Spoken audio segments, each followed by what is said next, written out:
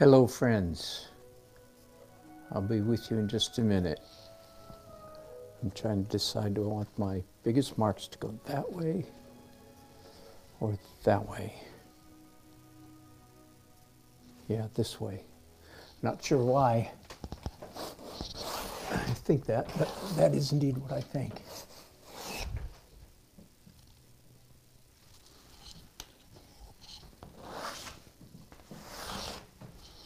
I have in my hands at the moment um,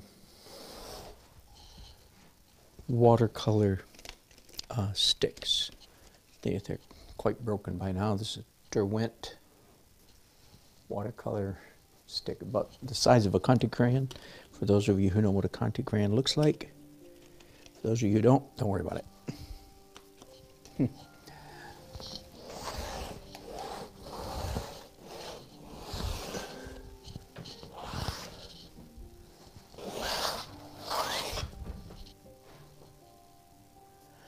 right, let's get official and legal. My name is Dan. I'm kidding about the official part and the legal part, but not the my name is Dan part. That's true. All right, Dan Nelson Art Adventure number, Daily Art Adventure, I mean number 848. Woohoo! and uh, as you can see, I'm doing another, it's ironic, quite ironic that last week and this week, I'm, I'm doing two cityscapes uh, on fairly large horizontal. This one's not quite as long as the last one. It's only three by five feet. And uh, because of the size of the canvas and the complexity of the subject matter, once again, here is the photograph that I'm working from, and it, it has grid lines on it, therefore grids here, and so forth. I actually started this painting um, early November. So how many months ago is that? Four months ago. And it's been sitting here in my studio ever since, just waiting for the chance to get invited to the dance. So today is finally the day. And for any of you, hello, light blue. Taking my name in vain, I see. It's bad. It's so funny. I'm a bad, terrible typist, and so often, not not infrequently, when I'm typing, and I type my name, at, it comes out damn, D-A-M-N. I mean, like the real damn word. um, so what I'm doing again today is unusual from my normal. Normally, I the very first thing I put on a canvas is abstract marks. So both last week and this week, exception to the rule both times, where I, I've drawn the image first, and then I'm doing abstract marks. Now at the moment, I'm trying to decide whether I want to start with brushes or rags. I think I'm going to go with rags. Uh, I, I'm, I say one thing and mean the other. I'm going to start with brushes.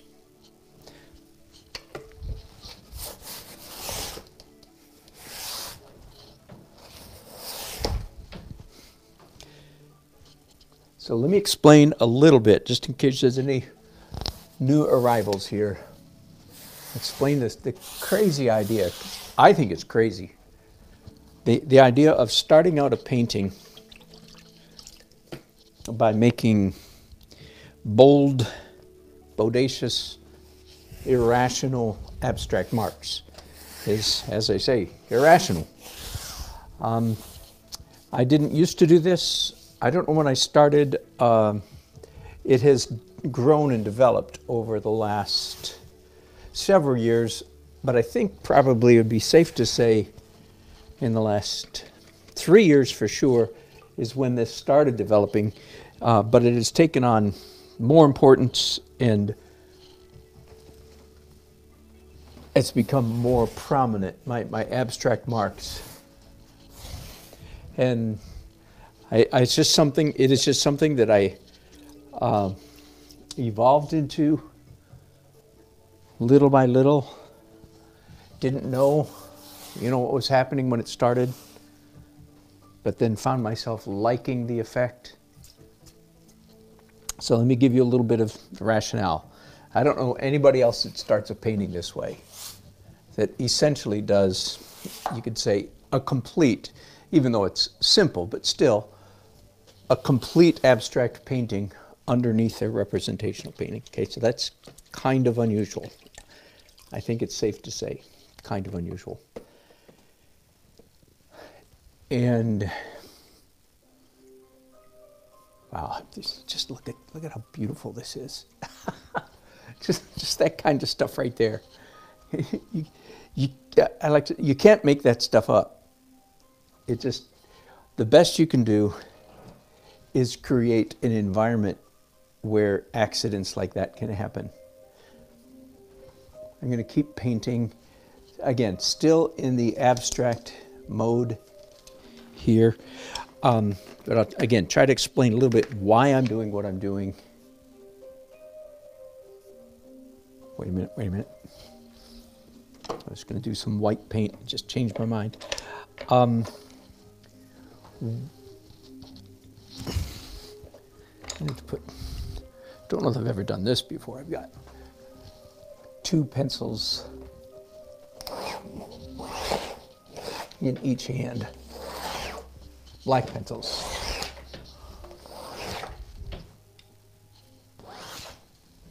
As I said, what might have been slightly timid a couple years ago is now, as you can see, downright violent. All right, now some white.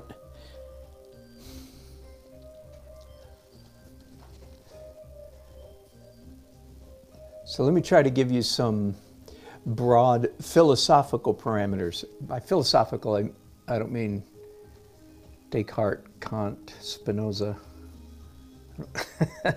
what I mean when I use the word philosophical in this sense, I mean the, the underlying concept behind what I'm doing, um, the why. Which, well, anyway, never mind. I'll resist the temptation to get philosophical for the moment. All right, the why. Um, one way to describe it is I was painting about 20 years ago.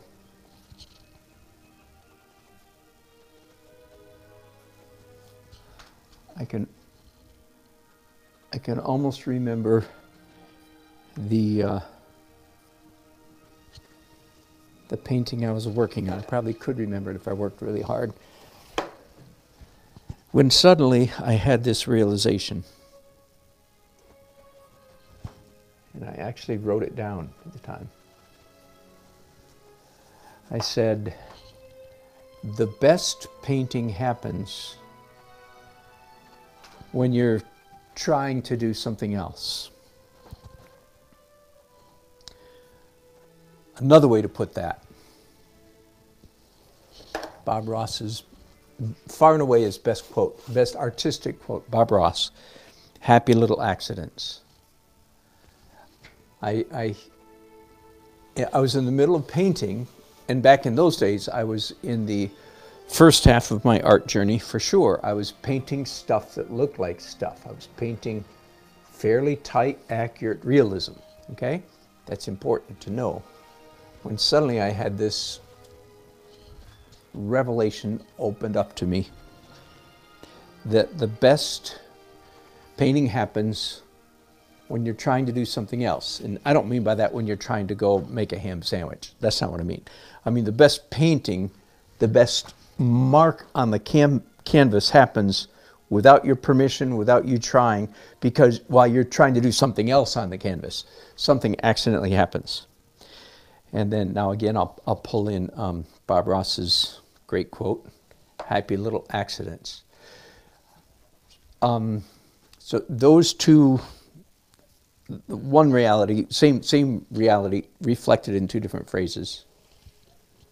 And as I said, it, it suddenly, a light bulb came on and I realized this, is, this was really, really true. I wasn't, I wasn't uh, trying to impress anybody. Nobody was listening to me. I wasn't, it was just all of a sudden I went, oh my goodness.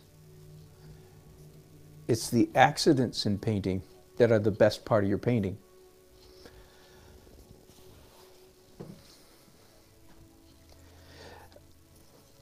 Now to back up just a little bit, some of you regulars, if you've heard me say in the last year or two,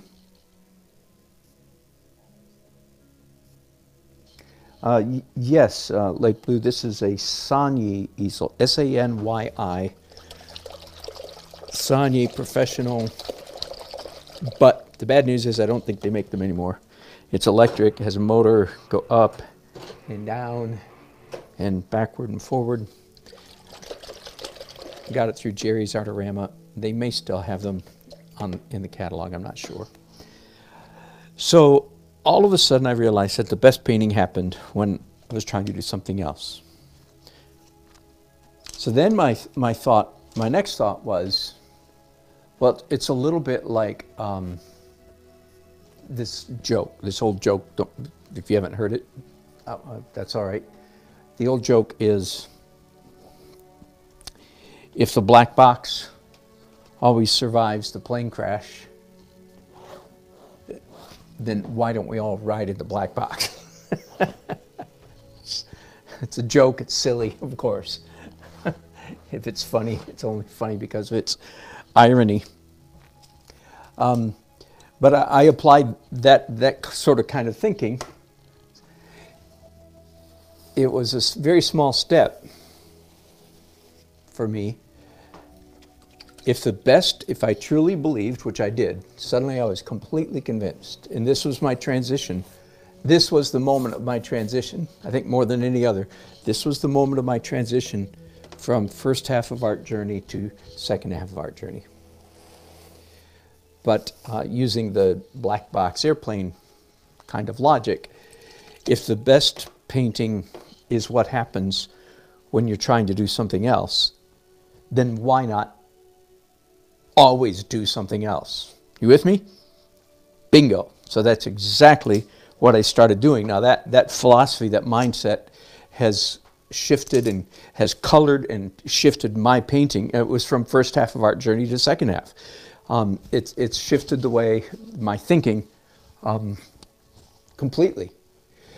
If the best painting happens, realism painting, representational painting. If the best representational painting happens when you're doing something else, why not do something else all the time? So, in a sense, that describes my painting process.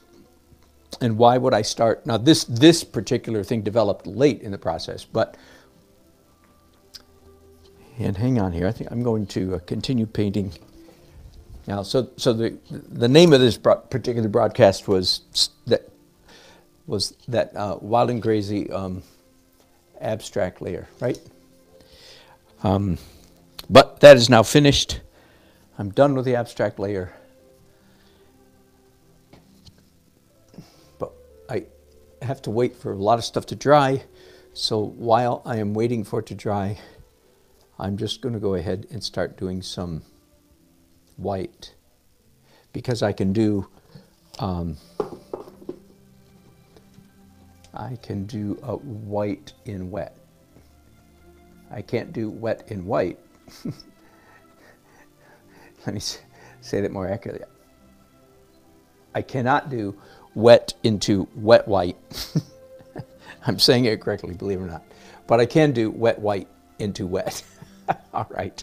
Sounds like I'm making some kind of weird, maybe naughty joke, but I'm not, I promise. Um,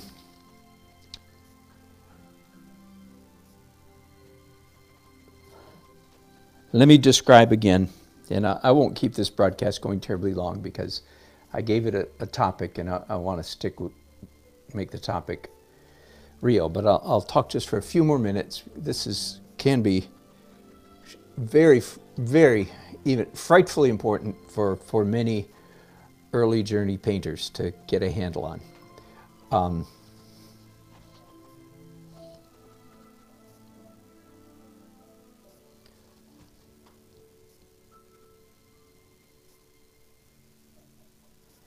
I forgot what I was going to say exactly, but that's right. I'll say this instead. Um, the way I paint, then, and this has been growing for the last 15, 16 years, is all of my underpainting, all of the underpainting stages. One of my chief goals is to create enough chaos so that I have lots to respond to in the final edit, particularly the final edit layer, which of course comes hours from now or 12 uh, or 13, no, no, 9 or 10, I should be more honest, 9 or 10 layers from now is, is when um, I get into the final edit layer.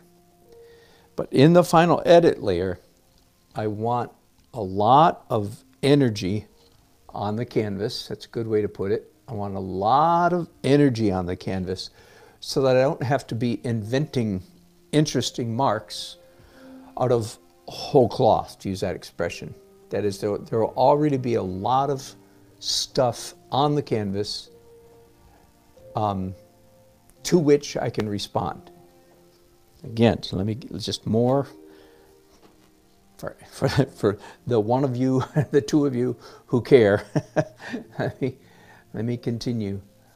Um, I often say, and it sounds like I'm being like humble or or overstating the case, but I really am not.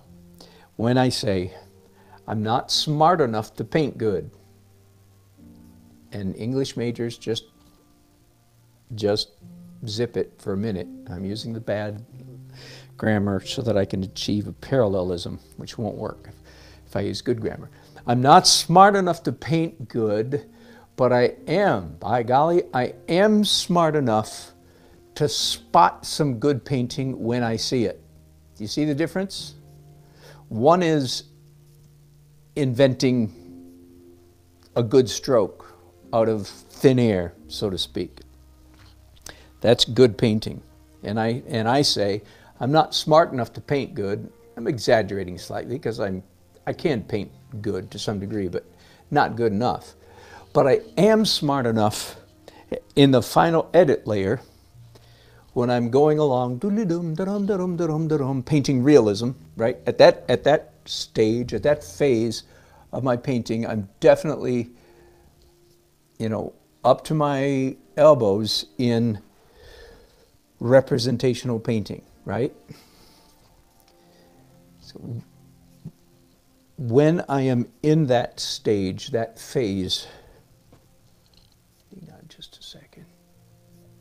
I've got something not in the right place here.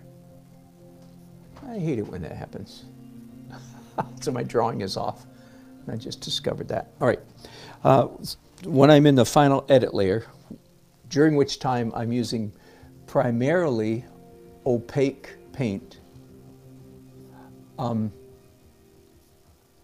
I'll be painting along and all of a sudden I will see a mark. I'll just leave it at that. I'll see a mark that, again, to exaggerate, that is to die for. that is just like breathtakingly perfect and gorgeous.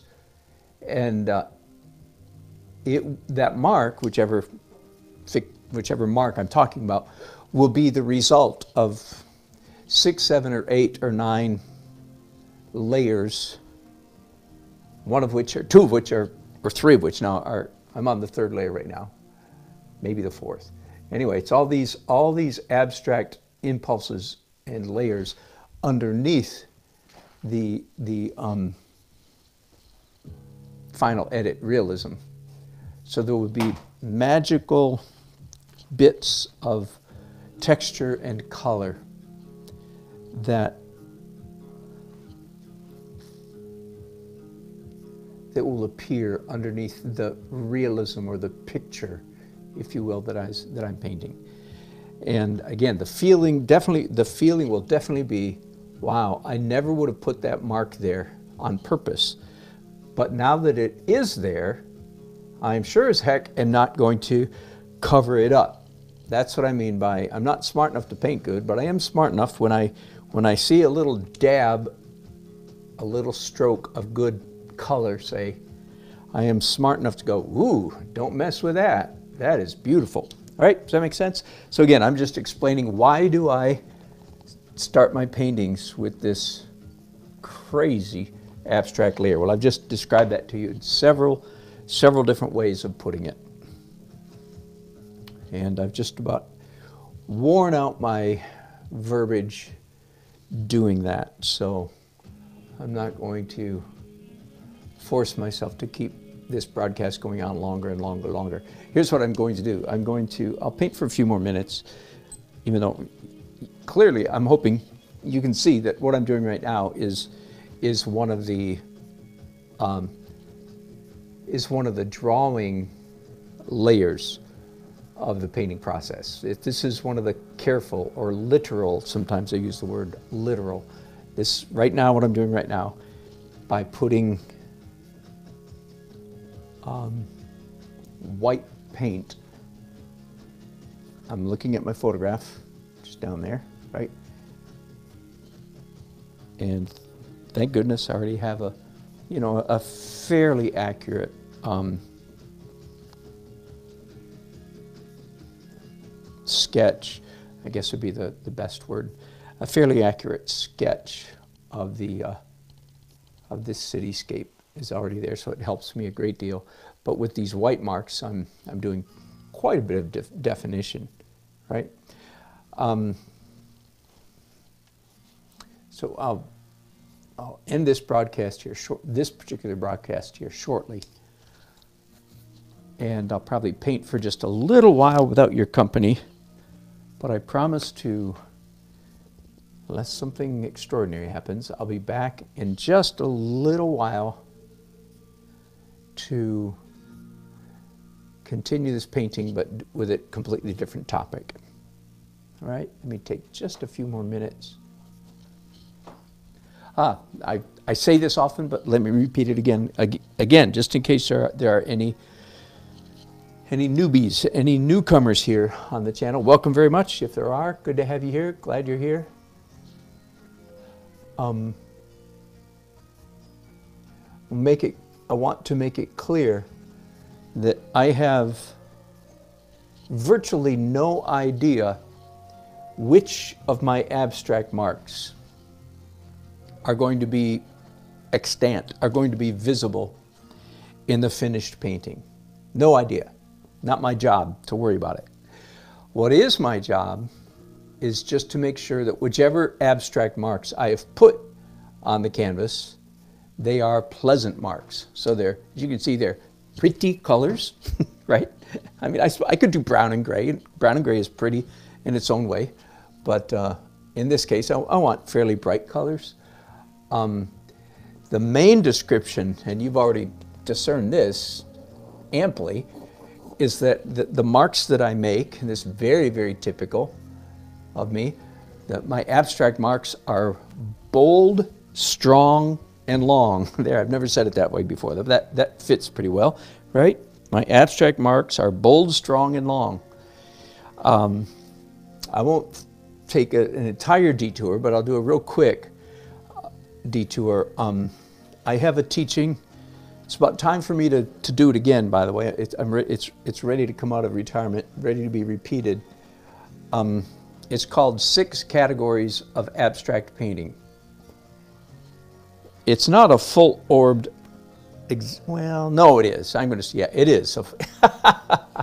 Heck, I'm going to say it is. It's a full orbed class on how to do um, abstract painting, right? But I, I tackle the subject by basically dividing the categories of abstract painting or breaking abstract painting down into six categories. All right? And um, one of the categories, um, I need to post this document on my on my uh, YouTube community page. So I'll try to remember to do that here shortly. But one of the categories is called kinesthetic abstract painting. The word kinesthetic refers to movement, bodily, move, bodily movement of hands and arms and so on and so forth. And um, that is just one category of abstract painting where it relies heavily for its effect. It relies heavily on the bold, strong, and long or violent marks. Mine are not violent. They're bold, strong, and long, but they're not very violent.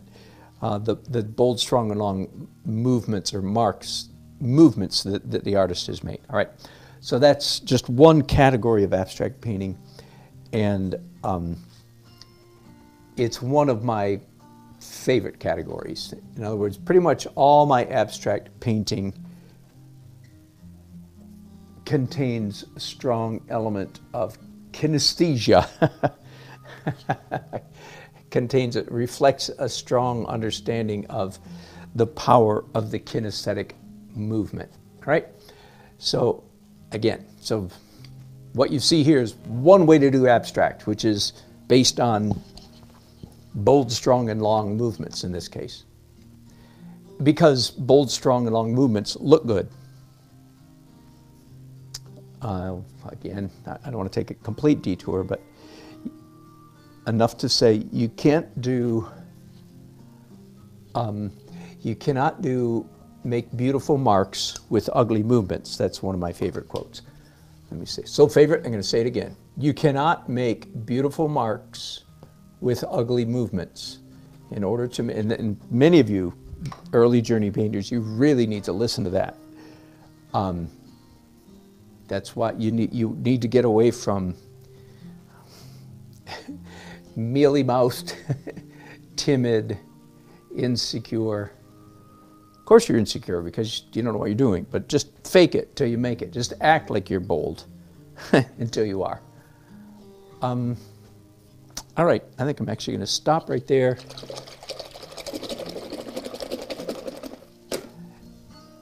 And let me tell you where I think I'm going to I'll go back and read your chats here in a minute. Um, I'm not entirely happy with my bold, long, and strong movements because they're not bold enough. The reason was I had too much water on my brush, so what was a strong red has drained down and left me kind of with a weak pink. That yellow is okay, but this yellow is not. So I may actually do a, a second, later on though, I'll do a second whack at abstract. And again, I'm sorry I didn't explain this. If the sky is going to be blue, which this is going to be a daytime scene, if the sky is blue, then most of my abstract up here is anti-blue, red and yellow. The city, on the other hand, is mostly warm colors, like most cities, brick and concrete and so on and so forth, with the exception of that building, which is blue. But most of these buildings are warm-ish, and they have a slightly warm sun on them. So I've done blue underneath the warm part of the painting and warm underneath the cool part, blue part of the painting up there. Does that make sense? Um, I think what I'm probably going to do next, and I, I, I won't broadcast, I'll just, I won't broadcast much of this because it's too tedious. I'm going to draw with brushes and paint. Um, redraw the, the, the city here, the drawing that's here, uh, with, again, various colors. And um, I might bring you in for the last stage is that, because that's probably, so I'm going to, change, I tell you, I'm changing my agenda for the day a little bit. It'll probably take me an hour of drawing, I'm guessing. Maybe not. Anyway, so I, I won't bring you in until the end of that, and then we'll go from there to the next step, which will be some washes on top of that. All right, thank you guys for watching and thanks for chatting. And since you all have been kind enough to say hi, I'll say hi back to you. Thanks so much, light blue. Hello, Uncle 60. You're late. I'd be embarrassed if I was you. thanks for joining me again.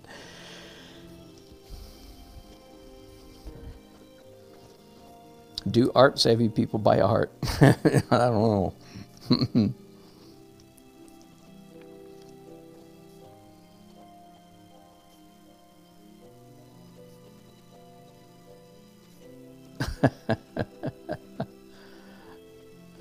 No, Uncle, this is for, oh, this is for, um, thanks for asking, interesting. Um, I started this outside in the drive, in the uh, parking lot at Art of the Carolinas just as a demo. And I thought I would paint on it for three days during Art of the Carolinas back in November. And uh, But on day two, I got a commission for money, so I abandoned this painting and went with the commission piece. Um, this painting, Lord willing, is going to be auctioned off at a fundraiser this Saturday. Um, and I'll talk more about that later. It's an art fundraiser, an, a fundraiser for an art organization I've participated in every year for, nearly every year for 18 years, maybe 17 years. Um, I'll talk more about that later. And I get 50%, so I'm happy to, to say.